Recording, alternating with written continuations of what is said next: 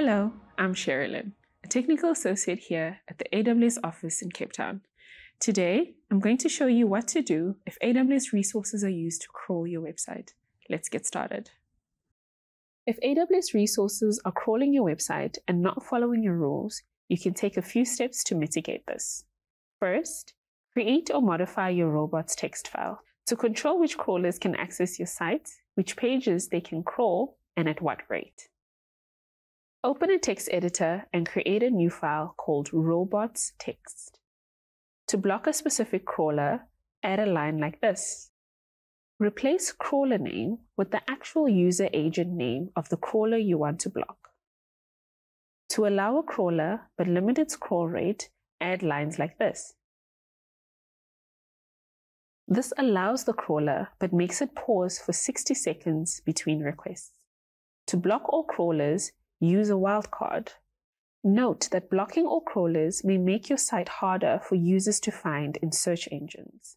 You can also use allow rules to specify which directories or pages crawlers can access. For example, once your robots.txt file is configured, add the robots.txt file to your root domain. For example, if your domain is example.com, then www.example.com forward slash robots text.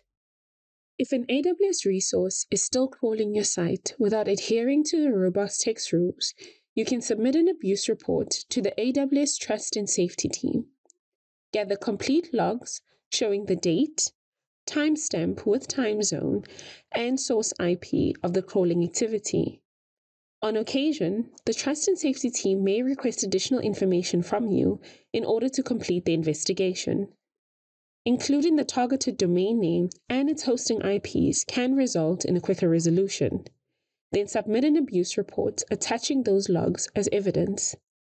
The AWS Trust and Safety team will review your robots.txt and the logs to determine if the AWS customer is non compliant. So now you know how to control crawlers on your website using robots.txt and how to report abuse if needed. Thanks for watching and happy cloud computing from all of us here at AWS.